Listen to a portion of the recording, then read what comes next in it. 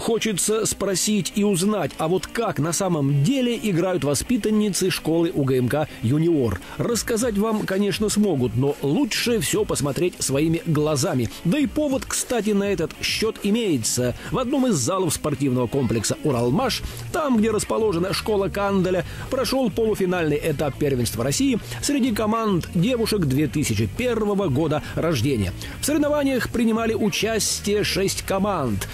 Подопечные прославленной Надежды Мариловой стартовали, мягко говоря, не очень. Уступили московской Тринте и Челябинскому дворцу пионеров. А потом маленькие лисицы разыгрались, образно говоря, дали угля клубу и стране. Показательной в этом плане стала встреча с хозяйками паркета, ученицами школы Канделя, наши девчонки.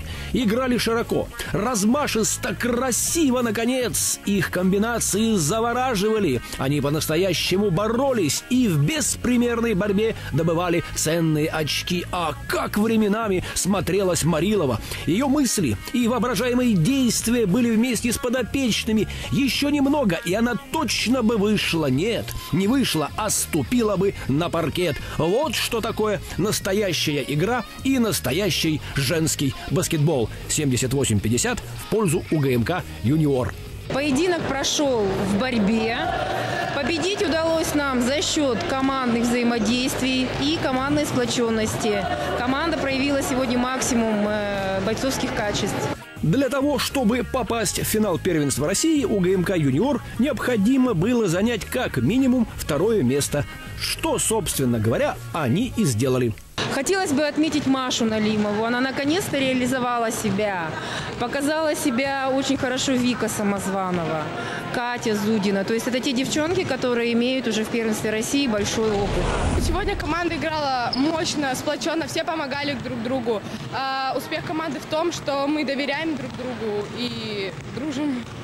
Где и когда пройдут главные матчи, пока не ясно. В общем, неизвестно. А вот девушки 2002 года рождения за подобный финал еще поборются. Это произойдет в Екатеринбурге с 17 по 22 февраля. А руководить самыми юными артемидами УГМК будет Елена Кузьмина. Вот она, кстати, в кадре. Та, что слева, и блондинка. Короче говоря, будем болеть и переживать. А вместо послесловия добавим. Воспитанницы УГМК «Юниор» 2000 года рождения, играя в Нижневартовске, тоже вышли в финал Всероссийского первенства. В общем, знай наших.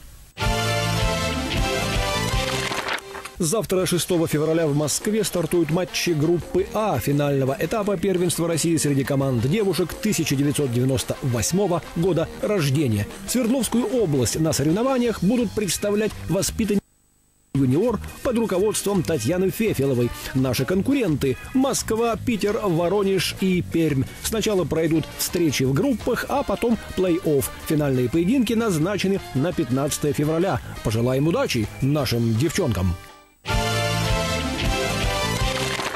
В рамках молодежного чемпионата команда УГМК «Юниор» принимала на своей площадке Оренбургскую «Надежду-2». Несмотря на порою отчаянное сопротивление гостей, подопечные Рустама Абдулина оба матча провели достаточно ровно и на высоком уровне. По крайней мере, разница в счете тому подтверждение – 74-55 и 85-51. Ну, это как бы на первый взгляд кажется, что такая большая разница, и нам легко далась победа. Все правильно, в УГМК никогда не рассматривают соперников в плане простой сложный, не рассматривают и понимают, что нет предела совершенству. Мы вчера сыграли неплохую игру, все равно были какие-то ошибки, мы сделали выводы, и тем более потеряли в ротации двух игроков. Последние силы отдали ради этой игры. Победа была очень нужна. Играли командной игрой, очень много ассистировали, не тянули на себя, видели всех. Вот такие они, девчонки из фарм-коллектива. А теперь о том, что у них впереди. Мы сейчас, собственно говоря, после этих игр возьмем небольшую паузу, проведем восстановительный микроцикл, а с понедельника снова начнем готовиться к следующим играм. Ну и, в принципе, всегда у нас так работа выстроена. Два ближайших тура у ГМК «Юниор» тоже проведет дома. 27 и 28 февраля наша команда сыграет со вторым Ногинским «Спартаком», а 8 и 9 марта со второй «Спартой НК». В очередном туре группового этапа Евролиги девушки-лисицы играли в Стамбуле с Галатасараем, который, безусловно, помышлял взять реванш за поражение в овертайме на Урале. Да и к тому же успех в этом матче позволял турецкой дружине реально зацепиться за плей-офф. Хозяйки бросали, боролись, но то же самое, только с более неуемной энергией демонстрировала УГМК. Паркер, Груда, Таурази, а также их партнерши были неподражаемы. В концовочке Галатасарай немного добавил, но уже было поздно. 67-56 и действующий чемпион турнира повержен лисицами уже дважды в нынешнем сезоне. И маловероятно, что он попадет в серию плей-офф.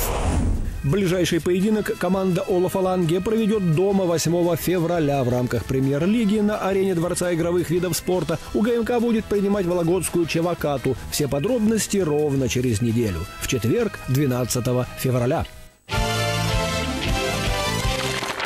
Предстоящую пятницу баскетбольный клуб УГМК проведет мастер-классы в девяти общеобразовательных учреждениях Екатеринбурга. Все это пройдет в рамках розыгрыша Кубка УГМК среди школьников, финальные матчи которого состоятся в конце февраля. В ходе мастер-классов девушки-баскетболистки покажут детям финты, приемы, а тренерский штаб расскажет о тонкостях и тактических схемах удивительной и популярной игры. Отчет покажем через 7 дней.